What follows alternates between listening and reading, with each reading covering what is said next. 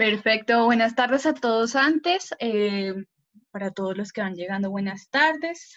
Chévere podernos conectar en este espacio. Mi nombre es Marcela Camberos y yo hago parte del equipo de reclutamiento de la firma. El día de hoy los voy a estar acompañando junto con Daniel. Daniel va a ser quien va a dar la conferencia. Entonces, eh, les voy a presentar a Daniel. Él es abogado y trabaja en este momento con EY em, en temas de consulta para la función de EY Law. Entonces, él trabaja para América Latina Norte, lo que es decir México y también Colombia. Eh, y el día de hoy nos va a estar contando sobre cómo podemos prepararnos para estar como eh, en este medio digital a la hora de trabajo y también de estudio. Entonces, nos va a dar algunos tips. También, pues, cómo nos va a compartir algunas buenas prácticas de cómo podemos hacerlo de una mejor manera. Daniel, te doy la palabra. Eh, y a todos pues los que se van conectando, los invito a que puedan hacer sus preguntas eh, y al final las estaremos leyendo. Gracias Marcela. Dejo la cámara solamente unos minutitos para, para saludarlos, para agradecer eh, su tiempo por estar conectados el acá. Voy a comenzar entonces ahora sí a compartir pantalla para que pues entremos en materia. ¿Les parece? Los invito a que me coloquen las preguntas en el chat para seguirlas recogiendo, irlas leyendo ahora más tardecito que pues, lleguemos ya a la parte de, de preguntas, ¿vale?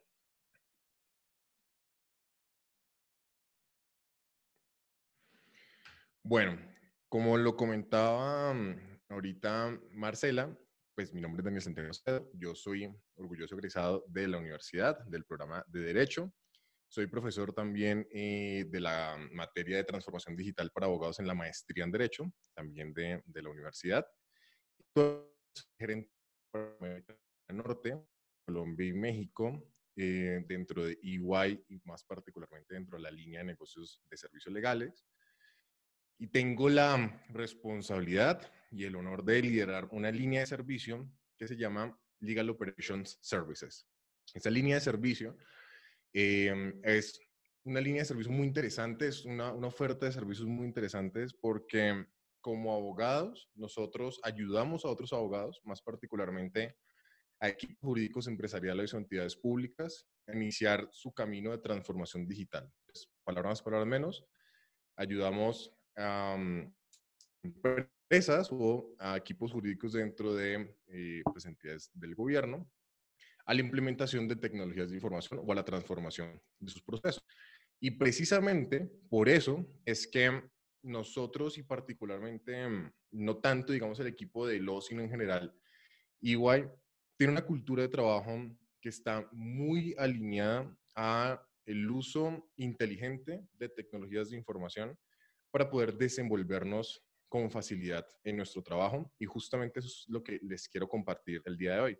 Nosotros pues cómo, digamos, hemos em, transformado nuestro propio, nuestra propia operación, nuestro propio trabajo, de tal manera que nos podamos adaptar mucho más fácilmente a esta, a esta situación, digamos, de emergencia que nos trae, pues, un poco el COVID y lo que creemos que va a ser, pues, quizás una nueva realidad. Les voy a compartir algunos, algunas recomendaciones que, que creo que les va a ser bastante interesante. Esta no va a ser una charla de, de cultura y hablar sobre, en general, eh, que es muy importante estar motivado. Por supuesto que es muy importante estar motivado y esas charlas son muy importantes, pero acá les quiero compartir cosas mucho más puntuales, eh, buenas prácticas que nosotros hemos implementado, pues a lo mejor también a ser útiles para eh, desenvolverse ustedes en su día a día laboral. Entonces, algunos principios básicos para entrar cómo funciona el mundo cuando estamos en modalidad remota. Lo más importante acá es comprender que por defecto los mundos digitales son asíncronos. ¿Y eso qué significa? Que por defecto, cuando estamos en ambientes de trabajo remoto o en, mundos digitales, por llamarlo de alguna manera, la comunicación no es tan fluida como sí lo es cuando tenemos la posibilidad de interactuar frente a frente. Eh, los mundos digitales y el teletrabajo o el trabajo remoto, como lo quieran llamar, trae una cantidad de beneficios infinito. Yo hace poco regresé a, Colombia, antes estaba viviendo en Ciudad de México, creo que el tiempo promedio, yéndome muy bien de desplazamiento desde mi casa hasta la oficina, y eso que vivía relativamente cerca, era más o menos de 45 minutos, que es más o menos el tiempo que antes de irme a vivir a México, era el tiempo que me tomaba ir desde mi casa acá en Bogotá hasta la oficina en la que trabajaba. Luego, entonces, tener, por ejemplo, la posibilidad de que dando dos o tres pasos desde, desde mi habitación estudio, ya tengo la posibilidad de conectarme y empezar a hacer producción, pues eso es una maravilla. Yo creo que a muchos pues nos ha caído muy bien, sobre todo supongo pues a las personas que, que tienen hijos y que les, hace pues bastante bien y les favorece mucho estar en casa, ¿no? Sin embargo, eh, no todo, digamos, pues tan, tan oro como lo pintan, no todo es tan maravilloso. ¿Por qué? Porque sí que es verdad que estando en estas modalidades de trabajo remoto, pues perdemos una cantidad de cosas que no es que sean malas, sino simplemente hay que tener en cuenta efectos de podernos adaptar mucho más fácilmente. Lograr así estemos 100% online y eventualmente, no sé, nuestras organizaciones, supongamos una decisión de eh, los trabajos que quieran eh, pueden quedarse en trabajo remoto durante el resto de la vida que quieran, que es una decisión, por ejemplo, que han tomado muchas empresas de tecnología en Estados Unidos. Incluso haciendo eso, eh, si tenemos en cuenta esta particularidad de la comunicación efectiva asertiva, definitivamente es la clave del éxito en espacios virtuales. Uno puede tener las mega herramientas de la vida, uno puede tener el mejor eh, sitio para trabajar, el mejor setup, pero si no trabajamos en nuestra comunicación, pues está quedando un ojo en esta gestión trabajo remoto. Entonces, como decía, esto no va a ser tanto una charla mm, desde, desde los conceptos, digamos, o desde lo abstracto, sino más bien concentrarnos en algunas recomendaciones muy puntuales para mejorar especialmente esa comunicación efectiva en entornos virtuales. La primera cosa, lo más eh, creo que sobre todo cuando uno comienza su vida laboral, ¿no? Uno es muy dado a, eh, estimo, buenas tardes. Espero que este correo te encuentre bien, al igual que a tu familia. Eh, por favor, salúdame a tu esposa y a tu mascota y te echas media hora escribiendo, digamos, el saludo para luego sí comenzar con, y entonces lo que te quería contar en este correo electrónico es XYZ. Sé que a veces podría parecer que como que en entornos virtuales pierde como esa calidez en la comunicación, porque claro, sobre todo nosotros, digamos, latinoamericanos somos muy dados a, antes de entrar a hablar del fondo del asunto o de lo importante de, de la conversación, pues siempre comenzamos como con esos saludos, ¿no? Que, por ejemplo, cuando tengo la posibilidad de conversar con mis compañeros en Reino Unido o en otros países, pues no se da tanto. Eh, pero nosotros sí que somos muy dados a eso. Entonces, si somos un poco más conscientes, digamos, de esa forma de comunicarnos y empezamos a resumir un poco más la forma que, la forma que utilizamos para expresar los mensajes, créanme que eso va a ser de mucha, mucha ayuda, sobre todo porque en mi caso particular, por ejemplo, que tengo equipos de trabajo a cargo, pues no tengo tanto tiempo, digamos, ¿no? De ponerme a leer pues los 300 correos electrónicos con sus respectivos saludos, sino que prefiero y de hecho agradezco mucho cuando las personas pues son muy, muy puntuales con lo que me quieren mencionar. Recomendación número dos, cuidar muchísimo, muchísimo la ortografía. Yo creo que eso es un mal en general que nos ha traído el mundo digital y no solamente por el coronavirus, sino en general, y es como esta manía de empezar a, mm, como a resumir o a recortar palabras o a no utilizar correctamente signos de, pues de, de, ortográficos, signos de interrogación, signos de exclamación, puntuación, etc. Y eso al final del día sí que pasa factura, sobre todo cuando estamos en los chats corporativos, ¿no? Cuando alguien nos escribe por WhatsApp. Estoy seguro que a más de uno le ha pasado que un familiar o alguien en la oficina le escribe algo y no se queda como que, ¿me estás preguntando o me estás afirmando algo? ¿No? Como que no queda tan claro. Y eso al final del día, pues lo que hace es que tengamos que retomar nuevamente pues el contacto con la persona y decirle qué es lo que me querías decir. Entonces, en lugar de poder recibir el mensaje claramente y con ese mensaje ejecutar pues, lo que haya lugar, voy a empezar es un ciclo para entender eventualmente qué es lo que esa persona me quería transmitir. Y no es lo más eficiente posible. ¿Cómo evitamos eso? Sencillo. Siempre háganlo eh, como hábito, incluso mm, en conversaciones familiares, en conversaciones casuales, utilizar signos ortográficos. Si van a hacer una pregunta, acostúmbrese siempre pues, a, crear, a utilizar ambos signos de interrogación, a utilizar puntuación, a utilizar comas. Otra recomendación muy, muy importante. Los datos siempre van a superar los, adjetivos. ¿Qué quiero decir con esto? Como les comentaba, yo me dedico particularmente a proyectos de tecnología dentro de servicios legales. Y mm, cuando estamos haciendo revisión con los equipos de trabajo sobre una implementación en particular, no es lo mismo que yo le pregunte a uno de los ingenieros, oye, y entonces con ese cambio que hicimos, eh, cómo está funcionando ahora la base de datos y esa persona me responda, ah, está funcionando mejor o está yendo más rápido. Pues, ¿qué es más rápido, no? O sea, más rápido es, está cargando en cuánto por ciento más, o lo que quizás es rápido para ti, para mí no lo es tanto, o lo que para ti es bien, para mí puede ser mal. Entonces, siempre, sobre todo en comunicaciones corporativas, tratar de evitar, pues, esos adjetivos calificativos que a lo mejor para mí significan una cosa, pero para mi interlocutor puede que signifiquen otra. No necesariamente van a significar pues universos, digamos, de distancia de diferentes, pero mejor para evitar inconvenientes o para evitar interpretaciones que no son las que yo quería cuando transmití el mensaje.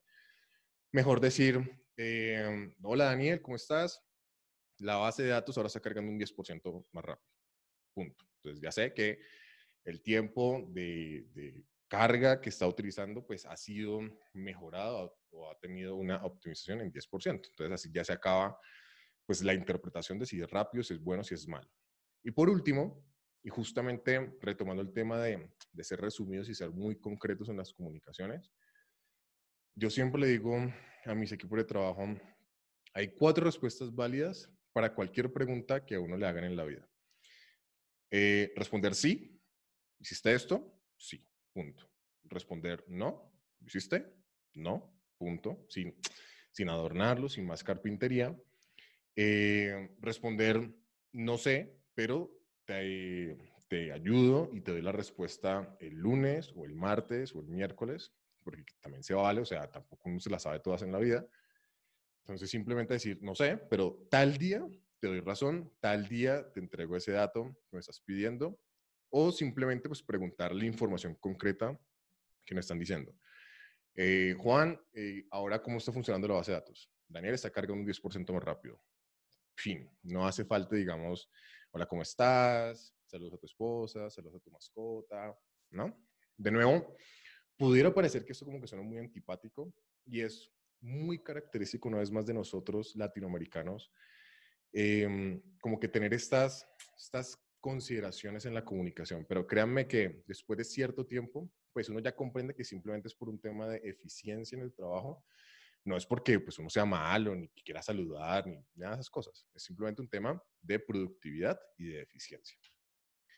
Ahora, mm, vamos a pasar con algo que siempre me han preguntado mucho en este tipo de charlas y es, ¿cómo mejoro mis comunicaciones por correo electrónico? Porque en general, y creo que hoy en día pues sí que tenemos como una avalancha en general de correos electrónicos y a lo mejor a veces, de hecho, el correo electrónico no es el mejor canal de comunicación para lograr lo que queremos. Sin embargo, pues sí que lo vamos a tener que utilizar en alguna medida. Entonces, si tenemos que llegar a utilizar el correo electrónico, pues entonces les voy a compartir algunas buenas prácticas que yo utilizo, de hecho, desde hace ya varios años y las tomé de este artículo que aparece en Harvard Business Review.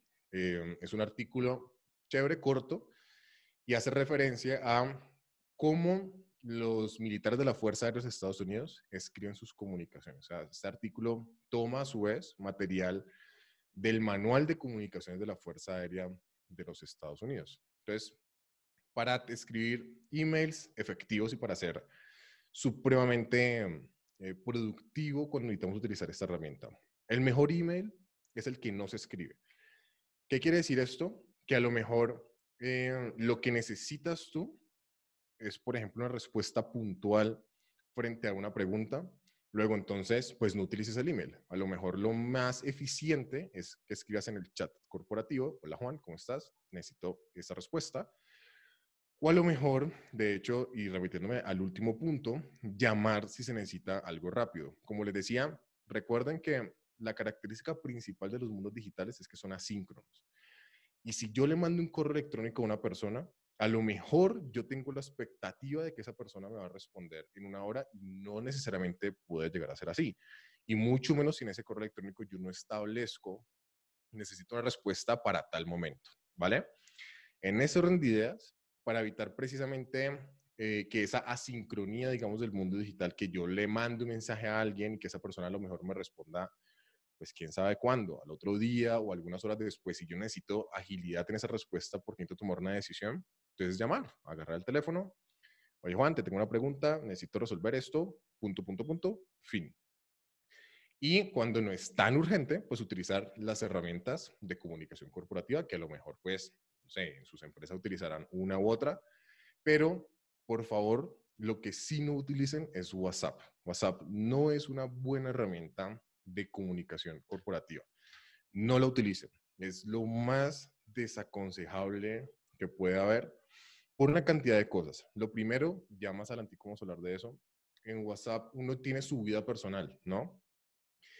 Y uno de los grandes retos que nos ha planteado esta pandemia es, ¿cómo hago para separar, así esté en el mismo espacio físico, así esté en mi casa, cómo hago para separar mi vida personal del el trabajo, de la vida profesional?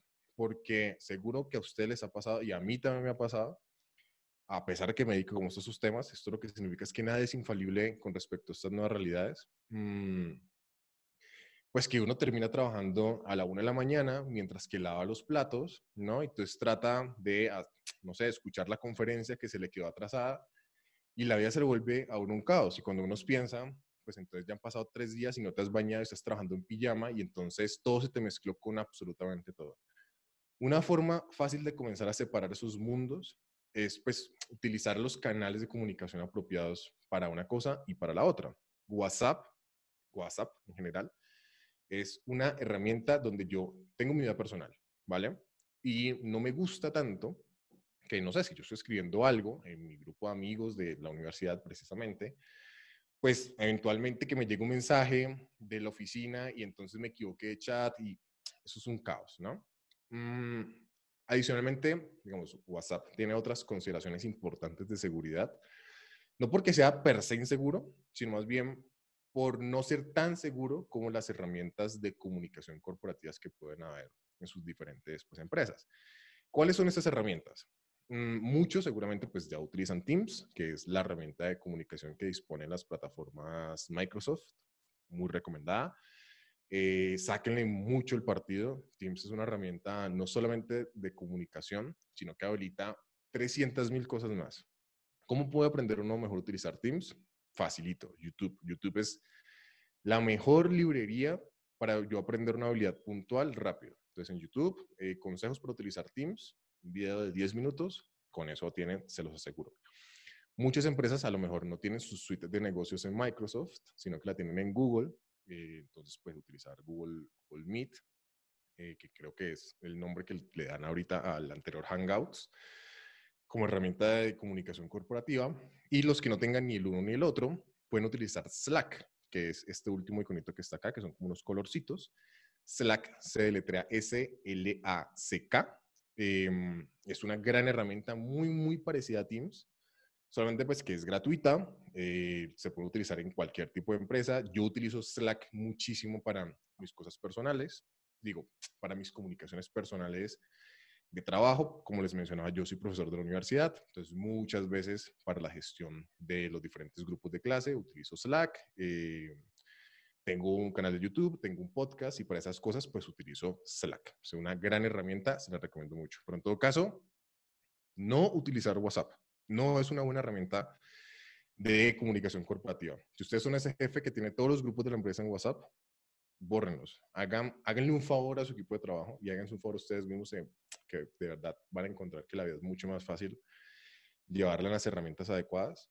Eh, borren esos grupos. Si ustedes son víctima de esos grupos, eh, porque su jefe es el que los crea y su jefe no está en esta charla, pues eventualmente, digamos, sugerirlo amablemente en alguna reunión de retroalimentación y decir, oye jefe, resulta que me contaron que hay una herramienta buenísima llamada Teams, pues qué tal si eventualmente lo utilizamos y migramos nuestros, nuestros canales de comunicación hacia allá. Ahora sí, entonces, ¿cómo escribir emails efectivos? Que esas son recomendaciones que yo de hecho utilizo en mi día a día con mi equipo de trabajo y con mis jefes para ser de nuevo mucho más ágiles en nuestras comunicaciones. Primero, utilizar un keyword en el asunto, que es un keyword, una palabra clave que me ayude a identificar yo qué debería hacer con ese correo electrónico. Ya hay muchos keywords, ya les cuento cuáles son los que yo utilizo eh, con más frecuencia. Dos, utilizar lo que en el libro de comunicaciones de la Fuerza de los Estados Unidos, en el artículo que les comentaba, denomina el BLUF, el Bottom Line Upfront, que básicamente la traducción de esto es tener un resumen ejecutivo del correo, sobre todo si es un correo largo, porque puede pasar. O sea, los correos electrónicos puede que sean largos. Si son largos, entonces ten un resumen ejecutivo que fácilmente le permita a la persona comprender el mensaje principal de ese mensaje que le estás transmitiendo. Y luego sí, pues el contenido, ¿no? Ya lo que sea que necesites colocarle.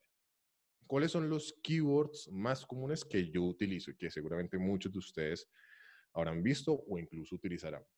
El primero, FYI, for your information. Cuando yo le escribo un correo electrónico, eh, por ejemplo, a mi equipo de trabajo, me llega una conferencia, una invitación a una conferencia, me parece interesante y se la quiero reenviar a mi equipo de trabajo para que si pueden se conecten, si no pueden, pues no pasa absolutamente nada. Entonces les coloco FYI y les reenvío ese correo. ¿Qué significa for your information? Pues eso, eso es un correo con propósitos informativos, no requiere ningún tipo de acción, no me respondas, no me digas nada, solamente tenlo y haz uso de esa información como consideres más apropiado. El equivalente de esto, pero para almacenamiento de información, es FYF, for your files, y es básicamente lo mismo, solamente que ese correo sí tiene a lo mejor algún archivo, ¿no? Que necesito que alguien de mi equipo de trabajo lo almacene en algún repositorio específico que tengamos o simplemente que lo tenga ahí por si luego lo llegamos a utilizar para algo en particular. No necesito que haga nada con ese archivo, no necesito que me responda nada, solamente necesito que lo almacene. Y eso es todo. Entonces, FYF, eh, contrato de crédito, tal cosa. FYF, em, preguntas, encuesta, tal cosa. Y fin de la historia. Luego vienen ahora sí los keywords donde necesito que la persona que recibe información haga algo. Los dos más comunes son el FYA, for your approval, y con eso lo que le pido a la persona es, por favor, revisa este correo electrónico dime algo. Dime si sí, dime si no, o revísalo, eh, checa este, este archivo, corrígelo, lo que sea, ¿no? Necesito que esa persona haga algo con esa información. Y el equivalente de eso, sobre todo cuando tengo a varios interlocutores en el correo electrónico.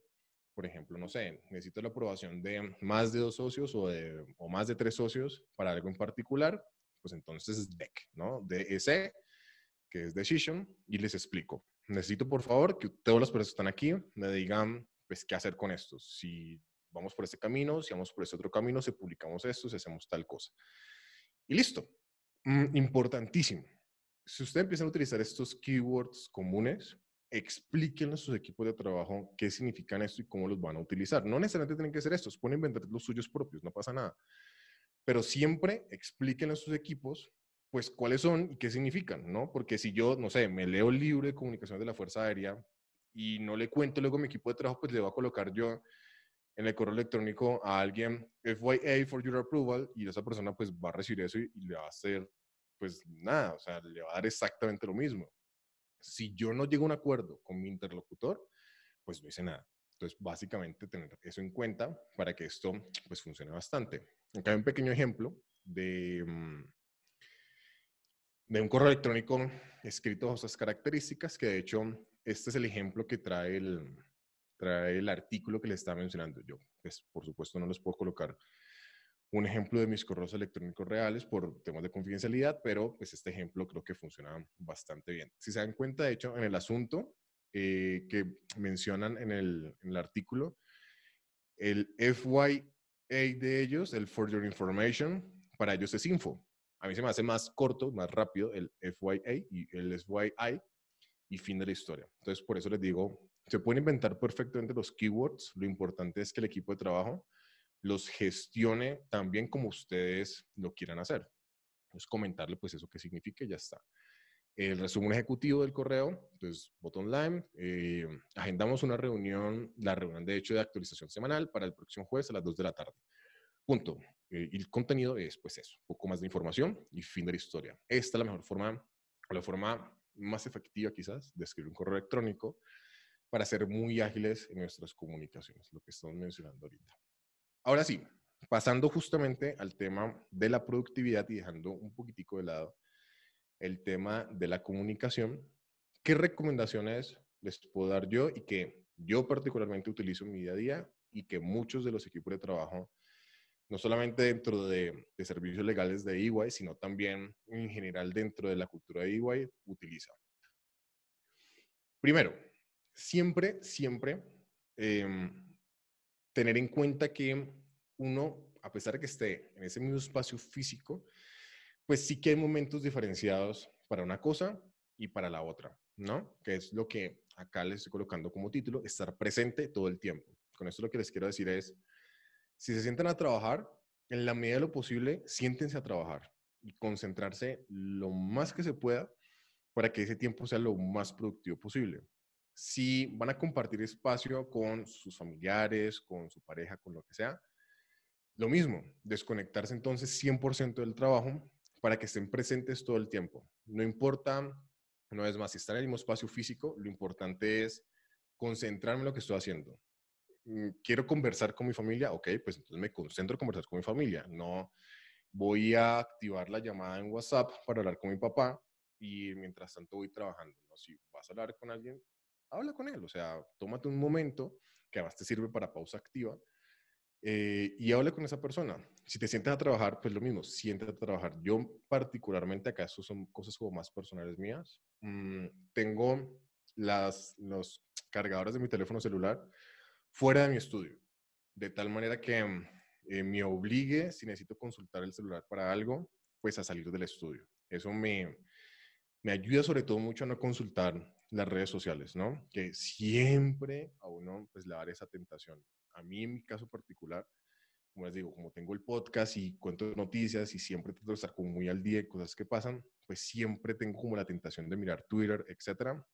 Para evitar esa tentación, pongo el teléfono a cargar afuera. Salvo que esperando pues una llamada importante o cualquier cosa. Pero como no utilizo WhatsApp, además, pues entonces no me importa dejar el teléfono afuera y fin de la historia. En este caso, por ejemplo, eh, lo apagué por lo general y además para mejorar la conectividad a Internet, suelo apagar todo equipo cuando estoy dando una conferencia, cuando estoy en una reunión muy importante para evitar esas distracciones. Em, algunas cosas que pueden tener en cuenta, sobre todo personas que viven o conviven con otras personas en su hogar, es establecer reglas pues, para ese trabajo.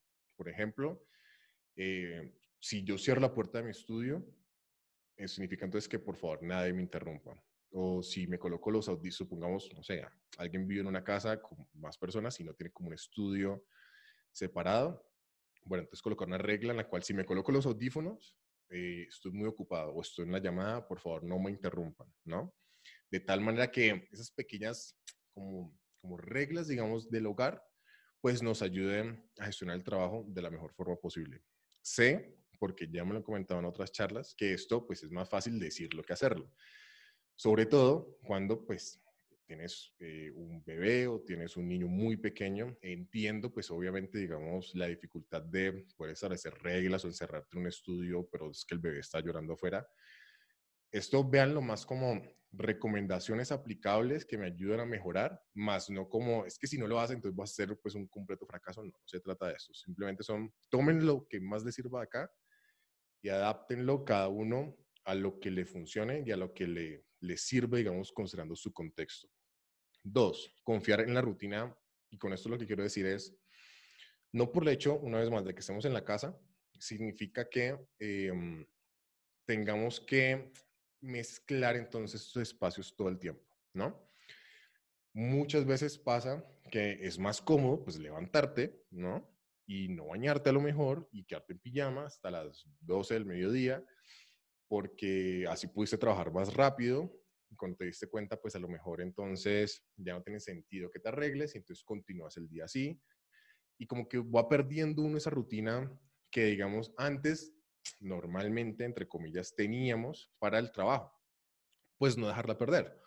Porque esas rutinas sí que ayudan muchísimo como entrar en ese mood, en, esa, en ese estado mental de, ah, ok, ahora sí voy a trabajar. Entonces, siempre Báñate, siempre arréglate lo mejor posible. Nosotros tenemos una regla dentro de nuestro equipo de servicios legales y esto es una regla que ojalá no me escuche el equipo de tecnología porque me va a regañar.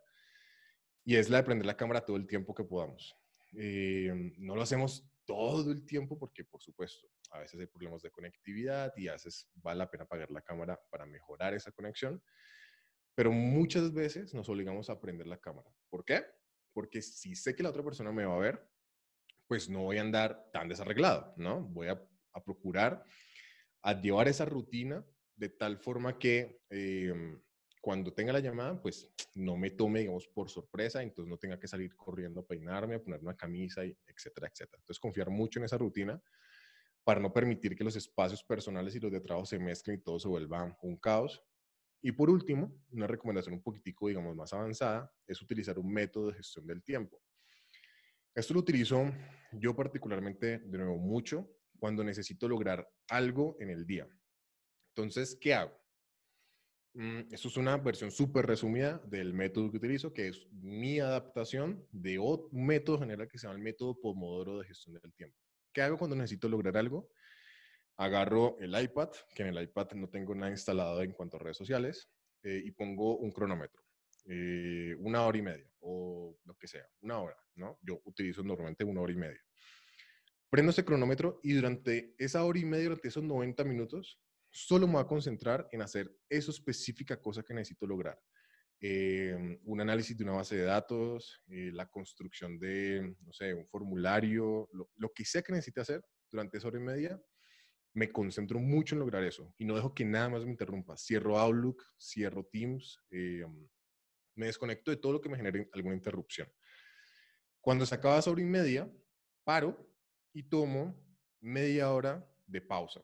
Esa media hora, ahí puedo hacer lo que sea. Es como el, el premio por haberme concentrado durante 90 minutos exactos para la otra cosa, ¿no? Entonces, ¿qué hago durante esa media hora? Pues ahí sí, miro el celular, miro redes sociales, prendo Outlook, prendo Teams, a ver si alguien me ha escrito, si mm, nadie me ha escrito, si, digamos, no pasa nada en esa media hora que haga que me tenga que salir, digamos, de este estado de concentración, entonces termino esa media hora de descanso y vuelvo a comenzar con otros 90 minutos.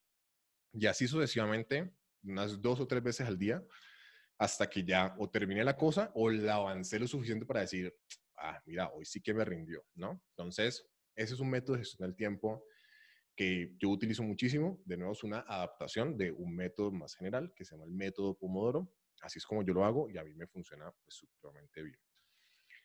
Eh, recomendaciones técnicas para tener una mejor experiencia en entornos remotos. Wi-Fi es una maravilla de tecnología hasta que no es una maravilla de tecnología. Y con esto lo que les quiero decir es que no confíen en Wi-Fi, sobre todo cuando necesitan tener estabilidad en la conexión a Internet para una llamada importante, para una conferencia, para lo que sea. Wi-Fi pues es espectacular en la medida que yo puedo conectarme a Internet fácilmente sin cables, pero em, en general las tecnologías Wi-Fi o las tecnologías de transmisión utilizando ondas electromagnéticas tienen la gran dificultad de sufrir muchas interferencias por cualquier cosa si em, estoy en este momento con Wi-Fi cerca de la cocina y alguien prende el horno microondas, ahí la señal se va, no puede que no se caiga 100%, pero se va a ver afectada. Si mi vecino eventualmente hace algo que implique transmisión de ondas electromagnéticas, me va a afectar mi propio Wi-Fi. Si tengo, por supuesto, 300 dispositivos conectados, pues eso sí que va a afectar Wi-Fi. Entonces, recomendación cuando necesitan mucha estabilidad en la conexión a Internet, una llamada importante, una conferencia, lo que sea, eh, conexión por cable, ¿vale? Son los famosos cables de red o los cables RJ45 que parecen como cables de teléfono, de los teléfonos viejos. Eh, y ya, yo simplemente conectar eso al modem, luego le conectas el otro al computador y eso te va a mejorar como no te imaginas, pues la calidad de conexión a Internet. Luego, eh, hacerte un buen micrófono. No hay nada más molesto en la vida que uno escuchar que la otra persona tiene un mal audio y que no le entiende, ¿no? Entonces, para evitar eso, pues lo mejor es tener, ojalá, un buen micrófono. Ojo que no necesariamente estoy diciendo, pues, invertir, digamos, en un, setup, pues, de grabación y tal, lo que tengo yo acá. Eh, pero sí a lo mejor, por ejemplo, tener en cuenta mm, conectar siempre manos libres al computador, de tal manera que la onda de audio de mi voz la capture el micro del manos libres y entonces me evito con eso, eso que pasa muchas veces en algunas llamadas que tú hablas y luego como que te vuelves a escuchar por el audio de la otra persona. Eso pasa porque la otra persona está en el laptop, ¿no? En el computador portátil y te está escuchando a ti a la vez que ella, ella está hablando a los, casi que a los mismos, digamos, parlantes, ¿no? A las bocinas del computador. Entonces, claro, eso está recogiendo el audio que te transmite la persona que está hablando más el tuyo y es un caos. Entonces, ahí, digamos, funciona mucho conectar el manos libres y eventualmente, si pueden eh, mejorar y tener pues una cosa como estas, pues sí que ayuda muchísimo, muchísimo más. Y como les mencionaba, pues utilizar la cámara cada vez que se pueda, de tal forma que, como les decía, no perdamos, o más bien tratemos de controlar tanto como sea posible, eh, esa comunicación no verbal que perdemos por no estar pues en contacto. Digamos que es muy fácil cuando uno está hablando con otra persona, uno saber, por ejemplo, si la otra persona te está prestando atención, si la otra persona te está creyendo lo que le estás diciendo, si está enojada, si está contenta. Esas expresiones verbales son vitales para la comunicación en los seres humanos. Y precisamente, digamos, estos entornos digitales, pues no nos la brindan tan fácilmente. Luego, ¿cómo podemos ayudar un poquitico con eso? Pues con la cámara. Con la cámara, en la medida que la podemos activar, pues buenísimo. Eh, no quiero decir con esto que deban entonces ir en contravía de sus equipos de tecnología. Muy seguramente muchas veces sus equipos de tecnología pues les han dicho, ojo, no prendan la cámara todo el tiempo porque eso consume mucho ancho de banda. Y si es verdad, una cosa es transmitir voz, otra cosa es transmitir video. Pero, pues, vamos, cuando puedan hacerlo, para mejorar esta sensación de te estoy viendo, te estoy prestando atención, te escucho, eh, sí, que, pues, sí que vale mucho la pena. Y ahora recomendaciones técnicas, ya no tanto para mejorar la comunicación, sino para ti. Eh, la verdad, yo creo que por lo menos lo que resta del año vamos a seguir en estos estados de cuarentena, en el sentido de, pues a lo mejor unos sectores económicos se van liberando, otros sectores económicos entrarán más tarde, pero yo creo que incluso dentro de los mismos sectores económicos que se van liberando, va a haber personal que a lo mejor no va a regresar a la oficina no sé, por ejemplo, eh, sector económico de textiles, ¿no? que creo que fue uno de los primeros que entró a operación de nuevo. Pues claro, los operarios de planta son indispensables para manejar las máquinas, pero lo mejor no es tan indispensable que esté en la empresa, eh, no sé, los, abogados, por ejemplo, nosotros, ¿no? ¿Por qué? Pues porque no es, el abogado no es el que manipula la máquina. Luego, muy seguramente, muchos profesionales se van a enfrentar a esa situación de que esta cuarentena, ya sea por ley o por disposición de la misma empresa, pues dure mucho, mucho más. Bajo esa lógica, mm, sí que les recomiendo pues hacer algunas inversioncillas para ustedes, para cuidar su propia salud, ¿no? Muchos seguramente, pues al principio de toda esta locura empezaron a trabajar en la silla del escritorio o en la sala o en la cama, pero eso digamos que en el largo plazo sí que les va a traer pues dolor de espalda, les va a traer complicaciones, así que invertir en una silla, no tiene que ser una mega silla, pero en una silla, pues es una buena idea. La verdad es que sí se aprecia muchísimo. Mm, como les comentaba antes de, regresar a Colombia, estaba viviendo en México eh, por el trabajo que tenía allá. Muchas veces me tocaba como estas situaciones de, de trabajo remoto, que tenía que desplazarme a otra ciudad a estar trabajando y pues hacía, digamos, la típica de los trabajadores remotos, ¿no? Que la típica es, te vas a un Starbucks y comienzas allá a trabajar. Y eso la verdad es que a mí me ocasionó muchísimo dolor de espalda pasado un tiempo largo porque muchas veces pues no estás en una silla cómoda o con espaldar incluso. Entonces suena como muy chévere, ¿no? Ay, tengo la posibilidad de trabajar en Starbucks desde cualquier parte del planeta. Mm, créanme que no es tan chévere por cierto tiempo. Entonces invertir en una silla, eh, si pueden, también invertir en un teclado y en un mouse, y de hecho en este orden.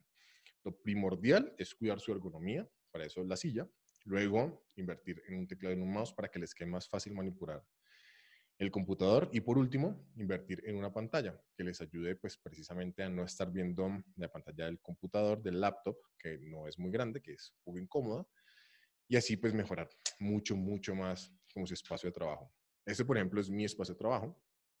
Te los muestro y seguramente muchos estarán diciendo, ah, pues sí, pero yo no voy a invertir en eso. ¿Quién sabe cuánto costó eso? Pues aquí les tengo una noticia. Esta mesa no es una mesa. Esto es una tabla que compré en Home Center porque no he encontrado un escritorio que fuera lo suficientemente grande para lo que yo quería, pues que era, digamos, tener estas luces de grabación, tener el micrófono por acá, tener una lámpara. Entonces, pues, ¿qué hice? Como no encontré una mesa apropiada, pues me compré una tabla, literalmente, y me compré dos cajones y luego le puse unas patas a esos cajones para levantarlos y fin de la historia. Entonces, con esta foto lo que les quiero decir, más allá de mostrarles, digamos, mi, como mi estudio, es que no necesitan hacer grandes inversiones para estar cómodos. Es más bien como ser creativos para poder tener algo que les permita trabajar, pues eso, con mucha comodidad. Eh, esto, por ejemplo, que es el reposapiés, a mí me ayuda muchísimo. No sé, como que me da una sensación de, descanso en las piernas, sobre todo cuando llevo muchas horas ya pues sentado y dándole algo en particular, eh, me ayuda mucho. Em, unos audífonos que, bueno, están por acá, pues porque los temas del podcast y del canal de YouTube, etc. Entonces, una vez más, con esto no les quiero transmitir de tienen que tener algo así, que luces y una cantidad de cosas, sino más bien ser creativos. Una vez más, esto es una tabla, una tabla en Home Center. No sé cuánto me costó, creo que, no sé, 50 mil pesos o 100 mil, no recuerdo, porque no encontré un escritorio cómodo. Y ya, entonces, pues si ustedes eh, no tienen un escritorio cómodo, les aseguro que muchas veces la solución puede que sea no comprar uno, sino más bien construirse pues su propio estudio que les quede cómodo y ya está. Por último, algunas recomendaciones para dejar espacio a las preguntas. Me gusta mucho, sobre todo en esta charla, pues, dar eso, como esa posibilidad de interacción y de escucharlos ustedes y de tener algunas preguntas. Y para además ser puntual con el tiempo, de tal manera que no se vaya a cerrar, pues Zoom así de forma intempestiva nos alcancemos a despedir.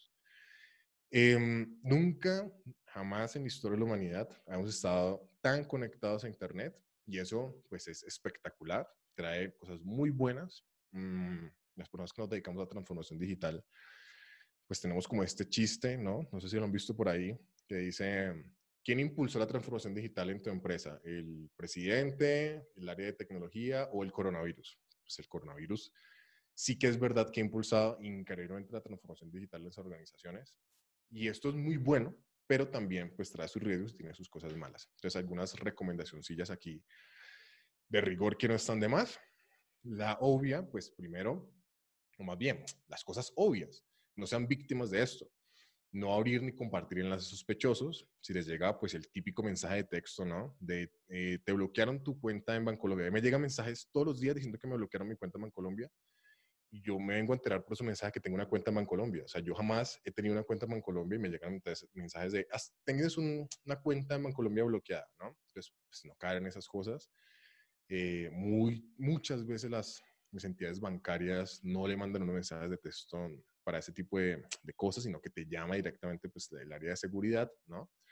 Entonces, no caer en ese tipo de, de trampas.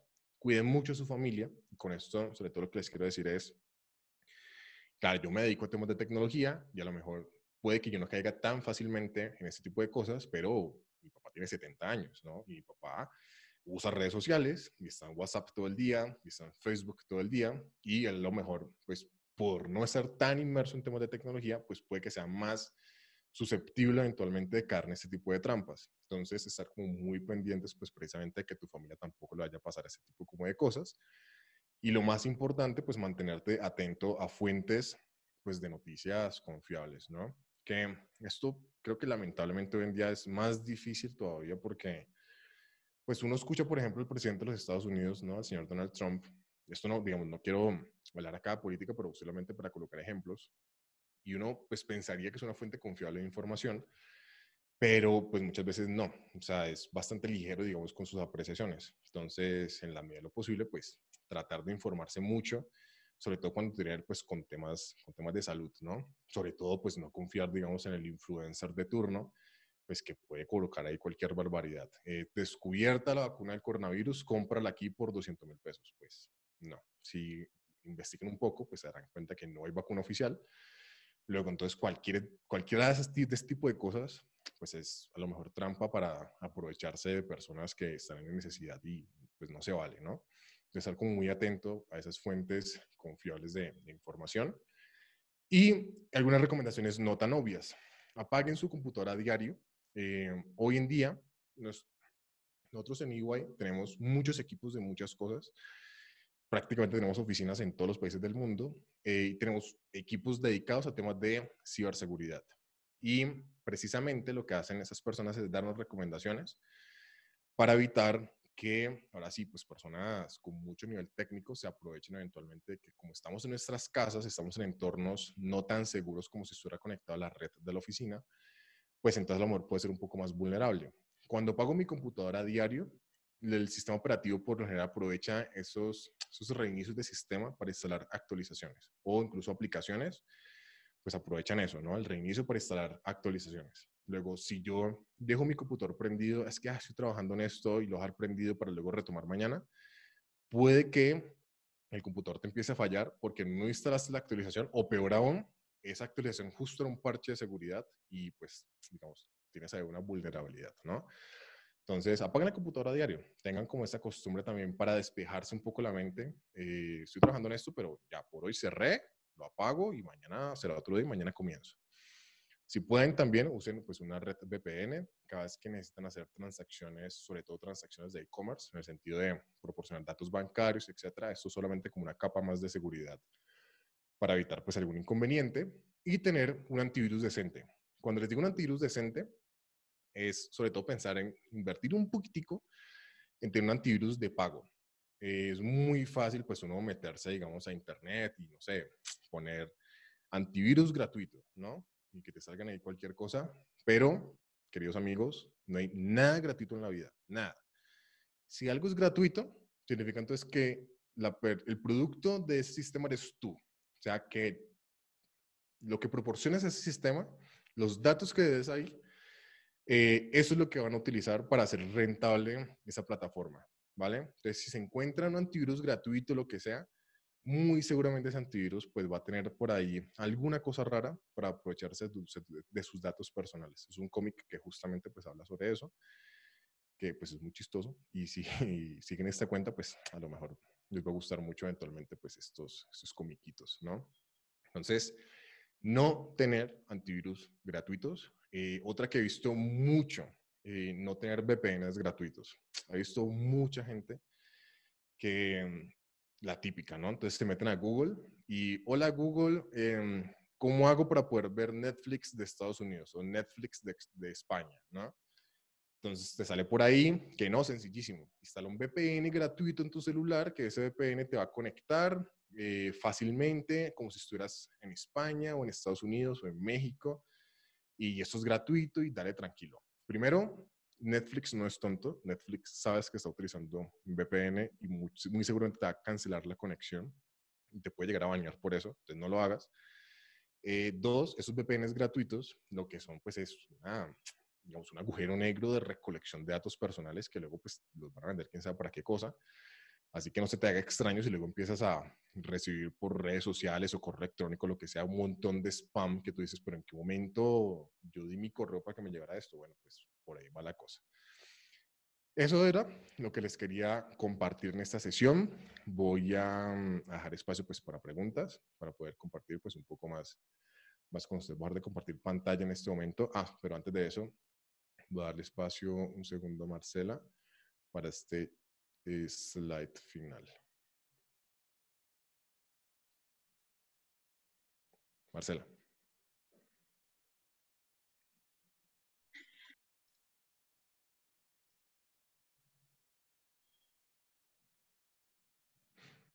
Creo que estás en mute. Presentarles a ustedes que pues nosotros en Iguay estamos en búsqueda de talentos en este momento también, no tantos como antes de toda esta contingencia, pero igualmente tenemos algunas vacantes. Entonces, si ustedes están interesados y son estudiantes, nos pueden enviar su, pues, su hoja de vida al correo iycampus co.edu.com o si están egresados nos pueden enviar su hoja de vida al correo hr.contact.co.iguay.com. La idea es que en ese correo por favor nos escriban que son de esta universidad, que nos escriban un poco sobre su perfil, eh, porque pues a nosotros nos llegan muchísimas hojas de vida, entonces la idea es que en el momento de que haya una vacante podamos filtrar rápidamente de acuerdo a una habilidad o a una competencia en específica que necesitemos y pues los podemos encontrar súper fácil. Súper, gracias Marce. Bueno, ahora sí, ¿espacio para preguntas?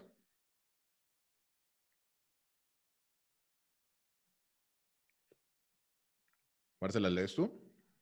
¿Las tienes por ahí anotadas de pronto?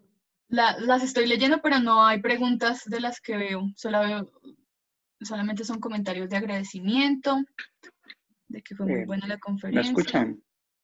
Sí. Sí, buenas tardes. Ah, buenas tardes. Eh, mi nombre es Antonio Restrepo. Eh, yo, bueno, egresado de licencia hace ya ni me acuerdo, en el 96 yo creo. Eh, y, y, ahora trabajo en Estados Unidos. tengo, bueno, unos comentarios corticos antes de hacerte una pregunta para no quitarles tiempo. Mi, mi, cuñado trabaja en EY en Bogotá, lo trasladaron a, a, a Baltimore. Y a veces cuando yo voy a mi oficina, yo digo, bueno, deberíamos ser un poquito más como EY ahorita que estamos con esta eh, pandemia, porque por ejemplo ellos en EY en Baltimore tienen oficinas que, que, no son, o sea, yo no tengo mi oficina, sino que tienes como cuartos de oficinas para que el día que tú vayas, reservas ese día que tienes que ir, ahí tienes tu, tu, tu pantalla, tu teléfono y, y, trabajas ese día en, en un espacio que, digamos, es entre comillas rentado y, y, no tienes que, digamos, que tener toda esa infraestructura para, para 20 personas, ¿no? Ahora, obviamente es una compañía que está diseñada para eso porque ustedes como consultores mantienen a todo el tiempo. Eh, otro comentario o pregunta también al mismo tiempo es eh, la cuestión del correo corto, es algo muy cultural. Eh, digamos, en Estados Unidos, aquí uno está acostumbrado a, a, a buenos días, esto es, y, y ya. Eh, he contratado a una persona de Honduras y y ella empieza, eh, por medio de la presente, quisiera agradecerle y comunicarme, y bueno, todo, todo el, el, cuento. Eh, y yo trato de decirle que no, pero ella se siente que está siendo muy grosera, que si no, se, si no hace todo la, la antesala y la despedida, está siendo muy, muy grosera. Entonces, ¿tú crees que si uno quiere hacer esas, e, ese tipo de correos cortos, debería de, de ser algo que viene implementado de, de, del corporativo para decirle a la gente que está bien hacerlo o no? Y, y también pueden haber diferentes reglas para comunicaciones internas cuando yo escribo con, con los compañeros de trabajo o cuando yo escribo con gente afuera.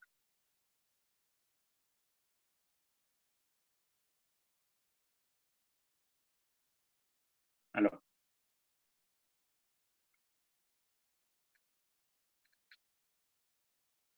Daniel, ¿estás ahí?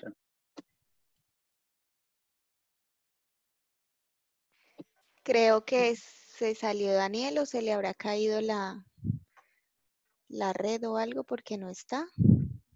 Es que está en mudo. Ya. Ahí, si Daniel. Escuchan, los está sí. un segundo, pero creo que ya. Ya, ahí te escuchamos. Me escucho con cámara lenta. No sé, algo pasó. Antonio, perdona, pero no, no alcancé a escuchar si me preguntaste algo. Creo que hubo como una interrupción ahí corta. Eh, pero sí que escuché como ese aporte que estás mencionando acerca de los correos electrónicos. Disculpa, si me permites y me preguntas de nuevo, pues con gusto alcanzo a responder. Solo un comentario rápido. Recuerden que por la parametrización de Zoom de la universidad se va a cortar a las, a las 3 de la tarde. Entonces, por si de pronto no alcanzamos a despedirnos, nos quedamos ahí a mitad de camino para tenerlo en cuenta. Eh, bueno, sí, eh, básicamente en cuanto a tratar de hacer correos cortos al punto, eh, hay una cuestión cultural, sobre todo en Colombia, en la que la gente siente que está siendo, eh, digamos, lo grosera. Entonces, eh, pensaría yo si, si, es bueno que una compañía va a implementar ese estilo de correos cortos y, con, con, los uh, keywords que venga implementado desde corporativo para que todo el mundo sepa que está bien escribirse así y, y, también sí debe haber diferentes reglas entre correos internos de la compañía y cuando lo estás escribiendo a un cliente externo. ¿qué, ¿Qué opinas de eso?